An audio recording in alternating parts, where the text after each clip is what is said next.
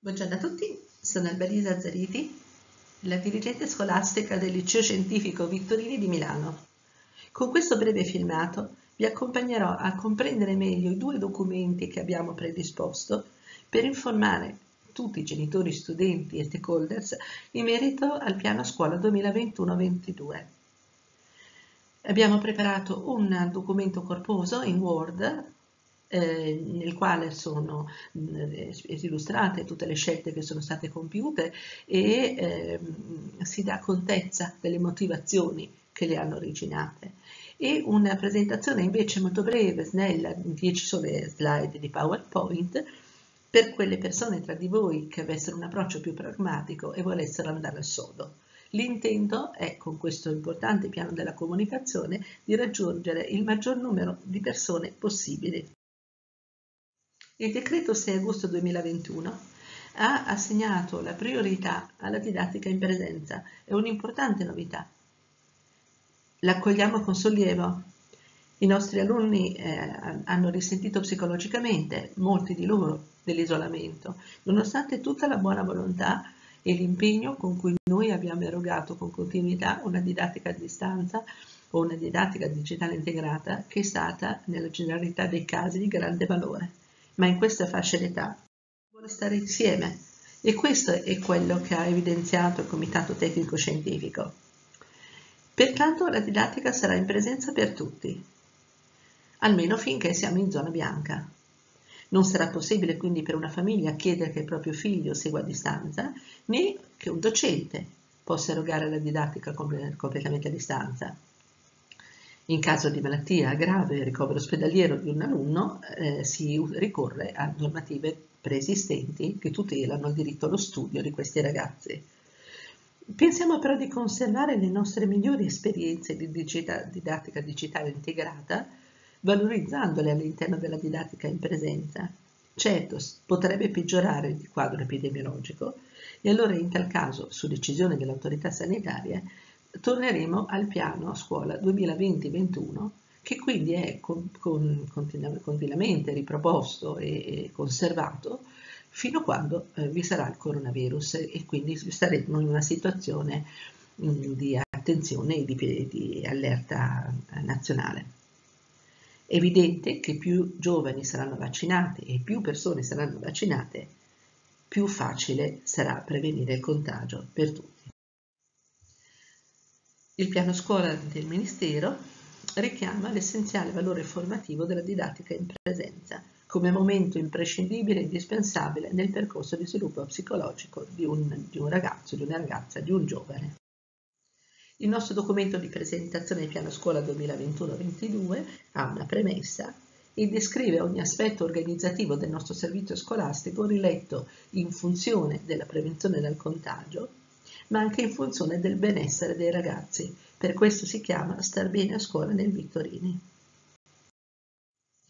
Il sistema scuola è molto complesso, sia all'interno sia nelle sue sinergie verso l'esterno.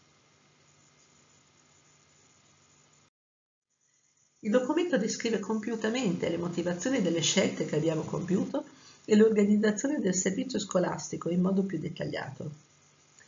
Invece la presentazione in 10 slide riassume solo gli aspetti concreti. Sono tre strumenti comunicativi, quelli che vi proponiamo, per cercare di darvi il maggior numero di, di informazioni per rassicurarvi in merito al, al, livello di analisi che è stato compiuto e per darvi il maggior numero di risposte possibile, così che l'anno possa iniziare sereno e tranquillo. Il decreto 6 agosto 2021 introduce degli obblighi e dei divieti, alcuni li conferma, l'obbligo delle mascherine almeno chirurgiche per tutti e il divieto di permanere nei locali della scuola per soggetti con sintomi respiratori e temperatura superiore a 37,5 gradi.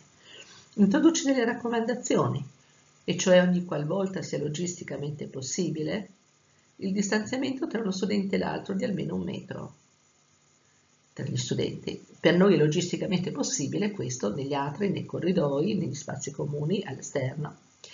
Il mantenimento di altre protezioni come la disinfezione delle mani, di igiene respiratoria e ricambio d'aria. Questi due diagrammi vi mostrano la complessità de, delle, delle, relazioni e dei livelli di comunicazione. Quello a sinistra è la gestione del protocollo di un positivo da parte dell'ATS e del sistema sanitario nel suo complesso, quella destra è la gestione del sistema scuola Vittorini analizzato con un diagramma eh, reale e un'analisi reale della nostra realtà. L'arrangiamento dei locali diventa quindi fondamentale è stata compiuta un'analisi dall'ordine degli ingegneri e ehm, che ha mostrato come eh, un, un, fattore determinante nella prevenzione del contagio sia il, il, il ricambio d'aria all'interno dei locali. Quindi, com, come ripreso nel protocollo di sicurezza nazionale, noi investiamo nell'arrangiamento dei locali. Adotteremo una serie additiva di misure di protezione il termoscanner all'ingresso, l'obbligo di mascherina chirurgica, la disinfezione frequente delle mani, l'arrangiamento continuo delle aule se il tempo atmosferico lo consente, o altrimenti almeno ad ogni cambio d'ora e per l'intero intervallo. Nelle aule saranno collocati dei rilevatori di CO2 per poter effettuare dei monitoraggi a campione periodici sull'avvenuto ricambio d'aria. Il distanziamento dovrà essere assicurato sempre negli spazi comuni. Sono previsti percorsi dedicati per le entrate e le uscite e l'intervallo è regolamentato. Le attività sportive si svolgeranno come previsto dai protocolli sanitari e come da regolamento pubblicato. Il nostro documento descrive l'organizzazione degli spazi, dei locali, dei transiti e le misure di igienizzazione adottate per ridurre fortemente il rischio di contagio. Inoltre, sul piano invece dello star bene insieme, riassume le misure di informazione, formazione, promozione e prevenzione che saranno messe in campo affinché si stia bene a scuola in entrambe le eccezioni, non ci si ammali, ma si viva anche la quotidianità in modo il decreto 6 agosto 2021 ha introdotto il Green Pass. Attualmente lo stiamo validando per, per, i dipendenti, non ci sono problemi di sorta, sta funzionando il sistema e alla firma un DPCM che introdurrà tale obbligo per tutti coloro che accedono all'interno della scuola, quindi anche i genitori e anche gli esterni. Danno per imminente la pubblicazione. Il documento in Word riprende il piano scuola 2020-21 che è confermato per quanto attiene il trattamento delle persone sintomatiche e dal punto di vista organizzativo è l'assetto a cui noi faremo riferimento dovesse peggiorare la situazione epidemiologica. Non è previsto attualmente alcun obbligo vaccinale per gli studenti e gli studenti non devono esibire la certificazione verde all'ingresso, però intanto sono mantenute tutte le regole del CTS previste nel 2020-21 rispetto al trattamento dei ragazzi o delle ragazze che avessero dei sintomi che fanno sospettare un possibile contagio.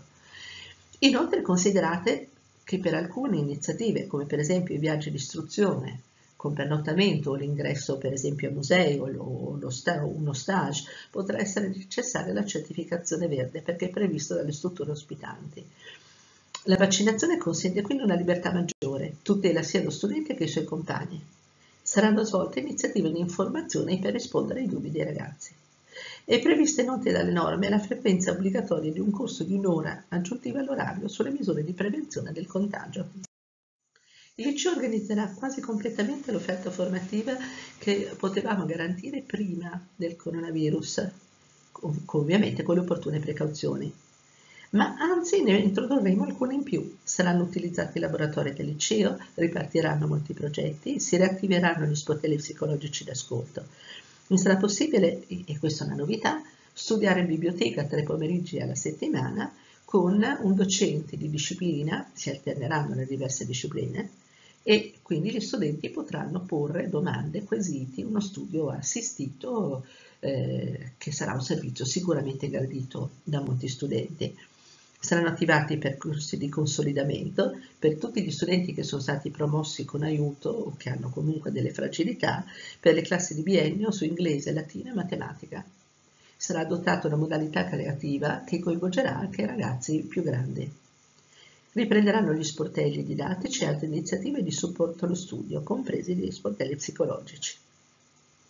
Per favorire la conoscenza reciproca degli studenti, e io penso che questo piacerà molto agli studenti, l'iniziativa Classe si diventa, che in passato era offerta alle prime, viene non solo eh, utilizzata per le prime, ma anche per le seconde e per le terze. Le prime e le seconde andranno a svolgere una giornata eh, fuori porta e quindi una gita, chiamiamola così, o comunque un'iniziativa aggregativa eh, al di fuori della scuola. Le terze avranno una mattinata dedicata a giochi di ruolo, animazioni e attività per la conoscenza reciproca condotte da un'equipe qualificata ed esperta.